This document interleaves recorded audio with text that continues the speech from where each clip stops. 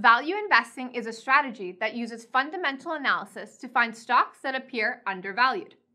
Value investors believe that market movement may be an overreaction to short term news, and that this overreaction can cause stock prices to not accurately reflect the company's potential worth.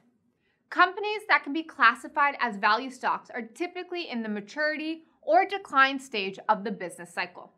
Let's break this down. Think of value investing as shopping for stocks that may be on sale. For example, let's say you are thinking about buying a new computer, and you know that computers go on sale at certain times of the year. The computer will perform the same whether you buy it for $500 or $600. Given that, if you're looking to maximize the value of your purchase, why not wait to buy it on sale for $500? We'll take a deeper look at fundamental analysis in a different lesson.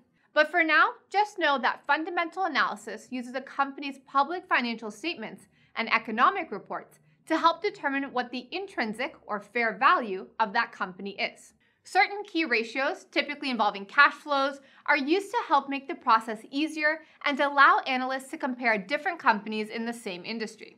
Even the most experienced fundamental analysts can get a stock valuation wrong. So, they may consider setting up a buffer between their valuation and the price that they would buy a stock at.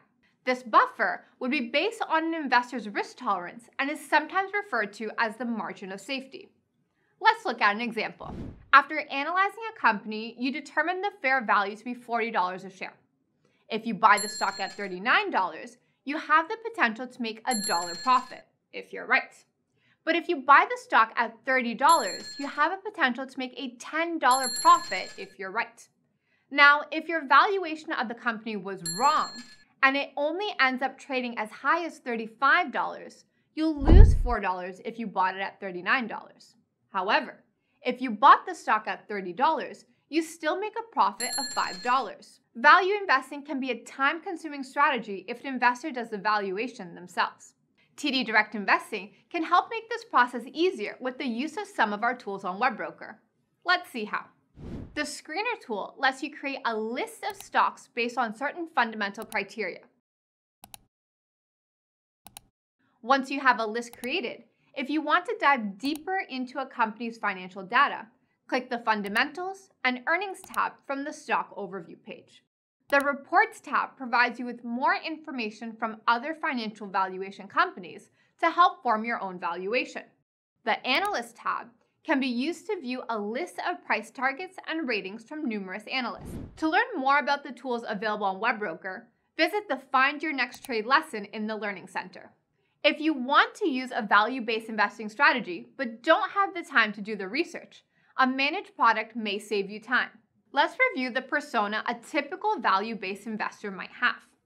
A typical investing time frame for this strategy can be medium to long. Risk tolerance can usually be described as moderate. How much capital or time an investor commits to their portfolio depends on whether they choose their own stocks, which can be time consuming, or whether they use a managed solution, which might require less time.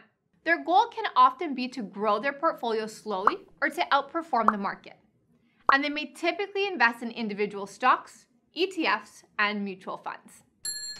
Check out our lesson on growth investing as we discuss the other half of the classic investor debate value versus growth investing.